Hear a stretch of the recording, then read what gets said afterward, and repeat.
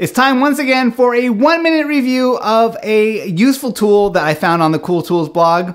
This time around, I'm going to be talking about the Rothco GI Type Mechanics Tool Bag. Russell Brooks wrote a review of this bag for Cool Tools saying that these are similar to the bags he was issued when he was in the Air Force. They're made of a thick canvas with a heavy brass zipper, a reinforced bottom, pockets on both sides, and small pockets lining the inside. Compared to carrying around a big steel toolbox, these are lighter, cheaper, and they don't scrape or dent things when you put them down. They also pack down nice and flat when you don't need them. I wish the inside pockets would hold tools better, but at $16, there's no reason not to cut out stitches and rework pockets for what you need. I'm taking this one to Maker Faire this weekend with my angle grinder and some wrenches, and it's perfect. Even for non-tool use. It's tough, it's cheap, and it's versatile. A link to buy this bag is in the video description, and you can see thousands of reader recommended tools just like this one at cool-tools.org.